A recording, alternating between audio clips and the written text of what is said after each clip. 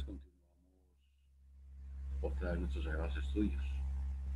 Entonces, veníamos con una discusión muy agradable sobre la importancia de la energía en el interior de un fluido. Él le recordaba que el trabajo desarrollado en el interior de un fluido es básicamente la presión por el volumen. Es la parte fundamental para trabajar. Listos. Entonces, un señor llamado Bernoulli que estudió precisamente en algunos fluidos cómo, e, cómo, debe, cómo eran las relaciones entre trabajo, energía cinética y energía potencial. mire que son términos muy importantes. Trabajo, energía cinética y energía potencial. Puede que el trabajo depende de la presión, la presión por volumen energía cinética depende de la velocidad. Energía potencial depende de la altura, o sea, de la posición. Entonces, es muy común encontrar en ingeniería las palabras cabeza de presión para hablarnos de trabajo, cabeza de velocidad para indicarnos energía cinética, cabeza de altura para hablarnos de energía potencial. Entonces, mire que estas palabras cabezas son muy interesantes. Listo. Desde el punto de vista matemático, lo que hacemos es simplemente mirar cómo se comporta. Lo mismo que hacemos, sabemos que hemos dicho desde hace rato, una de las propiedades importantes que tiene la energía es que en sistemas cerrados la energía se conserva. Pero además, sabemos que la energía se está transformando permanentemente en otro. Por ejemplo, la energía solar se puede convertir en fotosíntesis para plantas y la liberación de algún material. Todo eso es energía para el medio. Eh, la gasolina es energía potencial que se va a convertir en calorías y las calorías se van a convertir en movimiento para el motor. O sea, estamos permanentemente hablando de transformación de energías. Ese es el término vital y fundamental en todo esto. Entonces, acá lo mismo. Yo puedo medir eh, por ejemplo, cuando está cayendo, entonces la energía arriba, o la energía abajo, o en el medio, o en la tercera parte, donde sea, siempre va a valer lo mismo. O sea, si el tipo arrancó con una energía total de mil julios, arriba, abajo, en el medio, donde sea, se pueden hacer mil julios. Entonces, en cualquier parte la suma de energía cinética o energía potencial va a ser los mismos mil. Igual pasa en los fluidos. Sea en la parte de abajo, en la arriba, en la intermedia, la energía total siempre se ha conservado. Entonces, ahí tenemos los análisis, los que los quieran mirar.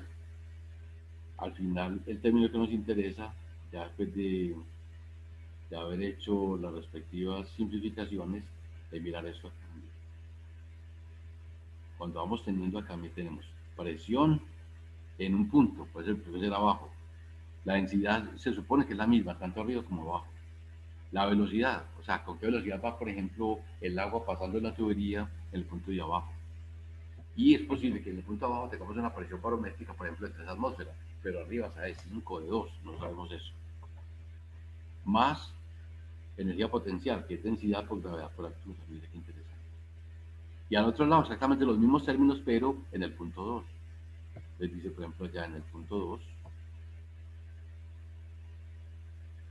presión 2, más velocidad en el punto 2, más la altura en el punto 2. Entonces mire que es interesante, tres términos, cabeza de presión, cabeza de velocidad, cabeza de altura. Al otro lado lo mismo, cabeza de presión, cabeza de velocidad, cabeza de altura.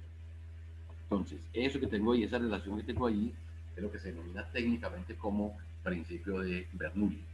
Esto es muy importante para los ingenieros de, eh, digamos, muy importante para los ingenieros mecánicos ellos, ahora, el ingeniero de alimentos debe conocer parte de esta ley. Quizá no comprenda el funcionamiento total de los equipos, pero para él es muy importante saber dónde empiezan a haber mezclas o dónde tiene ciertas condiciones. Por ejemplo, eh, si la viscosidad cambió en la parte de arriba, eh, si no tiene la fluidez que uno espera, si la densidad cambió por alguna circunstancia, como consecuencia, pongamos, de la temperatura o, o algunas al morir en el camino. Entonces todo eso es fundamental, empezar a mirar todas esas cosas. Aquí estamos suponiendo que la densidad realmente no ha cambiado o cambió muy poco. Ya si hay algunos cambios, entonces nos tocan ejercicios un poquito más complejos, porque lo único que sabemos es que la energía se va a conservar y al mismo tiempo se va a transformar. Entonces por eso es la importante cuando uno entrega una máquina a producir. Vamos, eh, dentro de mi trabajo, nosotros trabajamos mucho con la parte de, gas a nivel empresarial. Entonces, para una cervecera, por ejemplo, que nos tocan tuberías grandecitas, con unas turbinas, con unos motores bastante grandes. Y obviamente estamos hablando de, proyectos para la vida, de las condiciones deben ser muy excelsas, porque es como cuando se fabrica medicamentos, usted no puede cometer errores, porque cualquier mala concentración puede alterar la vida de una persona puede incluso quitarle la vida. Entonces, los cuidados que manejamos en todos esos desarrollos son estrictos. Nosotros tenemos que seguir recomendaciones estrictas de que lo manden los ingenieros de diseño, porque ellos son los especialistas en alimentos, no nosotros. Nosotros somos especialistas en construir. O sea, nosotros manejamos reguladores, manejamos presiones, controlamos. Si hay escapes de gases o líquidos, nosotros lo podemos controlar. Pero las condiciones propias de la vida nosotros no lo manejamos. Ya eso le toca precisamente a los ingenieros de alimentos, a los otros ingenieros que son especialistas en, en calidad, o en campos muy específicos donde nosotros no somos especialistas. Entonces, la posición de Bernoulli es la que precisamente garantiza ese concepto total de, de trabajo. Ahora los invito a que la ayuden con calculadoras y vamos a comenzar a trabajar algunos problemitas. Miremos cómo se trabajan problemas de esta parte. Entonces, eh, que me colaboren. Vamos a desarrollarlos aquí en público y en directo. Les voy a colocar acá solución. Vamos a resolver algunos, uno de cada tema. Y ahí comenzamos el tallercito. Entonces, el ejercicio nos dice, vamos a levantar 900 kilogramos, llamamos eso Q. Q normalmente se llama término carga, o sea, lo que a mover en este caso sería 900 kilogramos. 900 kilogramos. Tengo que a la mano para que trabaje. Voy a poner esto en negrilla quitar la negrilla, ponerlo en letra. Esa es la carta, muy bien. Listo. ¿Qué datos conocemos? Se nos dice, mediante un plato rectangular de 4 metros de largo por 3 de ancho. Entonces la superficie donde vamos a poner esa carga, la llave de ustedes será 4 metros por 3 metros. En calculadora sencilla, esto sin problema solamente nos daría 12 metros cuadrados. Alguna operación rara, y tienen estar atentos que nos colaboremos.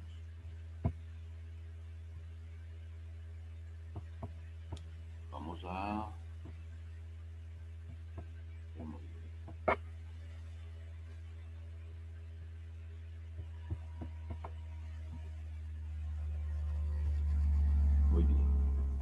¿Qué más conocemos de ese problema? Conocemos además, nos dicen, si tiene entonces vamos a moverlo. Este es el plato rectangular. Si el plato pequeño tiene una forma circular de 8 centímetros, entonces, ¿qué debemos hacer?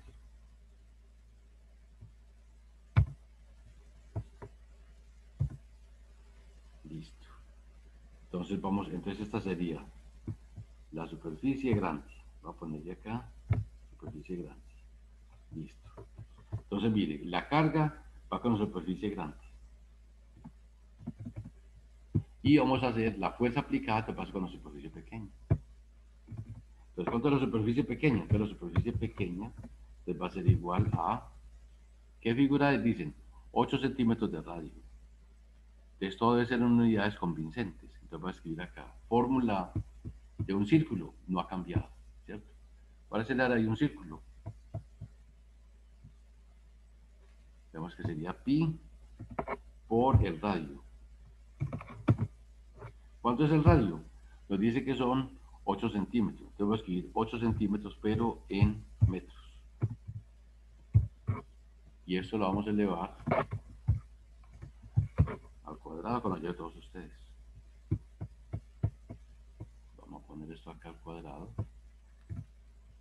Y escucho ofertas. Pi por 008 al cuadrado me cuánto da. Ingenieros trabajando. Pi por punto 08 al cuadrado. O sea que el, único que está al cuadrado es punto 08.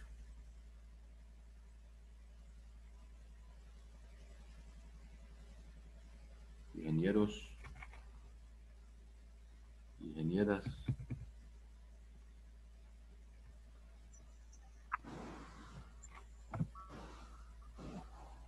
Profe, qué pena con usted, pero a mí no me da pues, para hacer el cálculo porque no tengo utensilios en la mano. Solamente le estoy prestando atención por estar en el trabajo.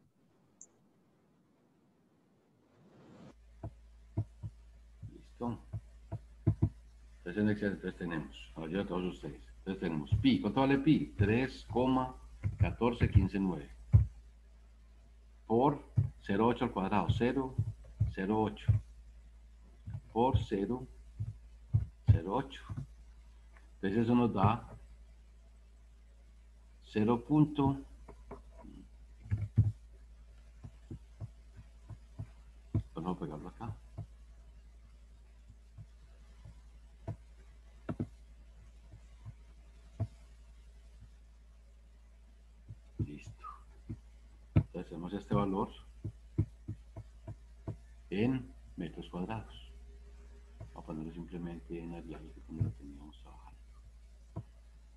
y tamaño 12 porque tenga el concepto del documento. Listo. ¿Y esto qué unidades? Esto nos va a dar unidades cuadradas, metros cuadrados. Muy importante que tengamos siempre las mismas unidades y sobre todo unidades internacionales. Muy bien. Entonces voy a poner esta capa que listo. Así. Perfecto.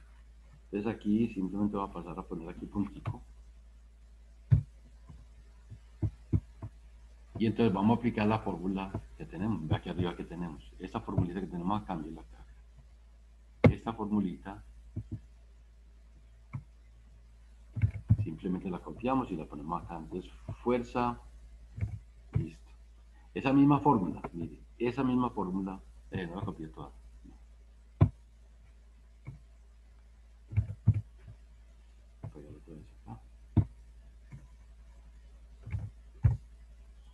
Entonces, fuerza aplicada, ¿cuál es? La tengo ahí. La superficie grande, esta la tenemos acá. 12 metros cuadrados. Por 12 metros cuadrados. Eh, lo voy a hacer aparte para que les quede la fórmula ahí. Volver a escribir esta misma formulita para que ya la reemplazo.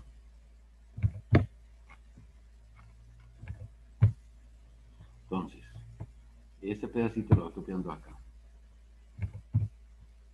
de la superficie grande son listo.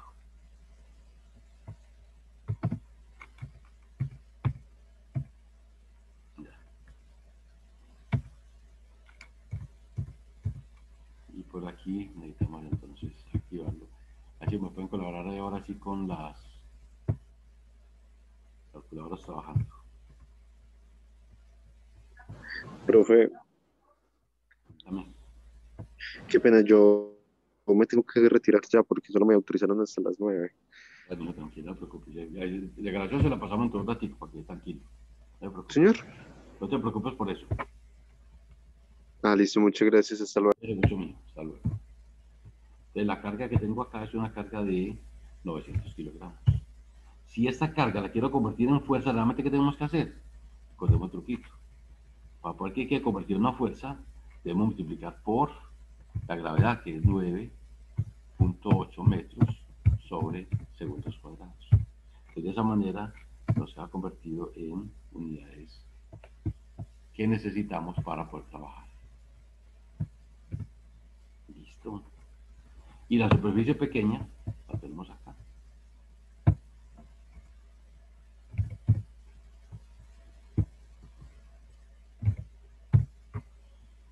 Entonces, ahí necesitamos la colaboración del auditorio. Estoy despejando. Bueno, ya dejémosla ahí. Ya esa fuerza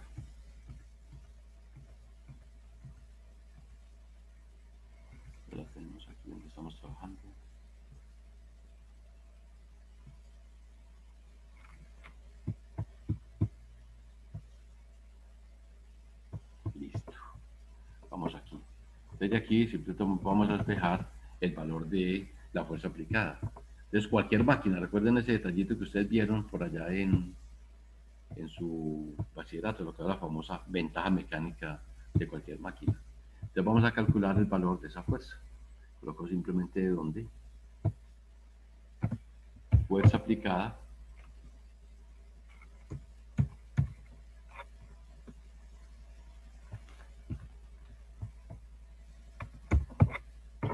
fuerza aplicada que será igual a lo que nos dé operación.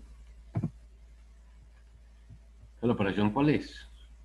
Es multiplicar 900 por ese factor y dividirlo por 9,8. Vamos a aprovechar aquí 6. Entonces será 900 por D6 dividido 12. Esa fuerza nos da 1.50. Entonces, volvemos acá.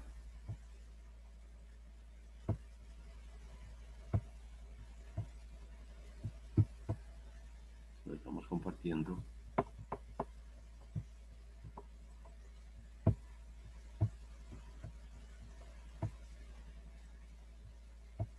Nos dará 1.5. ¿Qué pasó aquí con mi...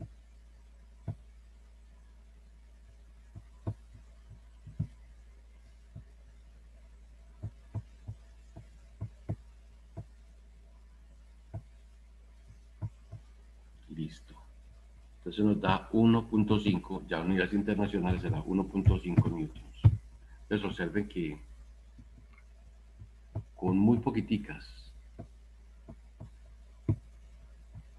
con una fuerza pequeña, uno puede realmente hacer grandes maravillas.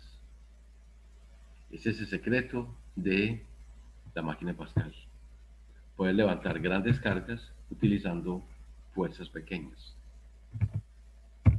Listo. Ustedes ya saben, entonces, eh, para tener claridad sobre fechas, les voy a hacer un tallercito, eh, lo podemos ir pensando en semana, puede ser a cualquier hora de la noche o, de la tarde. Y avisan incluso antes de clase si tienen el tiempo. Los que no tengan clase, buscamos, o oh, también para escribir un pre-quiz, para que se entrenen en en IO interactivo. Vamos a hacer un mini quiz para que más o menos se, se entrenen. Lo hacemos de un quiz solamente de una hora, porque tenemos compañeros que, que ya trabajan, entonces vamos a hacer un quiz de unas 12 preguntas sencillas sobre el tema que estamos trabajando.